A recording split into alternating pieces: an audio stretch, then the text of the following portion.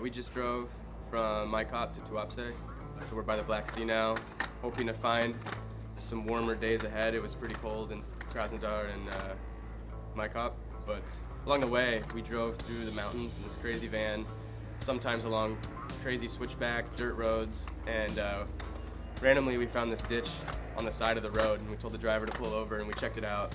It ended up being a pretty sick little ditch with a little wall ride escape. So, like while cars are zooming by,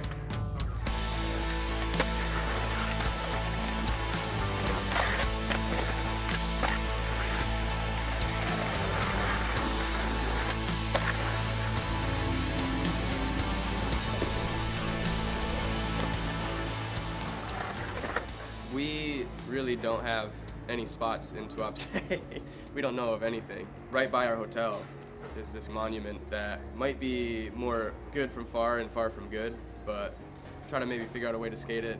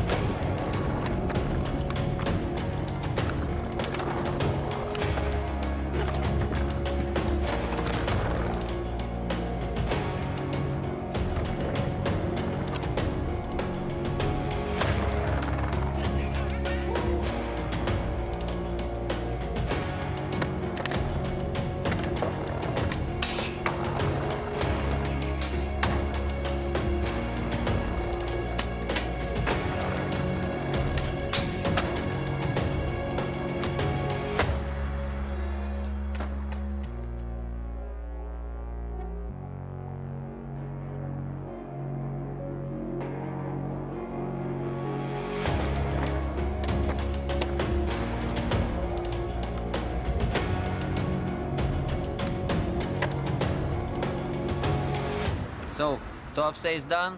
We're heading by train to the next stop, Sochi. So this is my first time in Russia and we finally made it to Sochi and the weather is a lot warmer here than the earlier cities we stopped in. We're seaside, we got palm trees. Around every corner so far we've been finding lots of spots and it's nice. Sochifornia.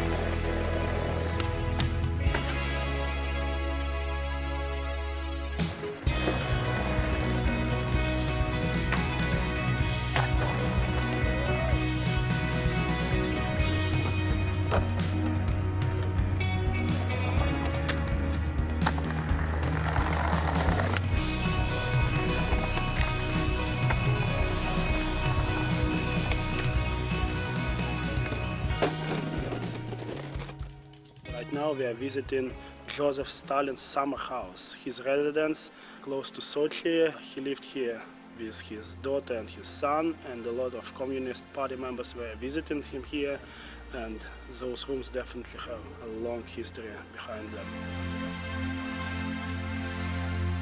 We drove up the mountain from Sochi to the most northern tea plantation in the world.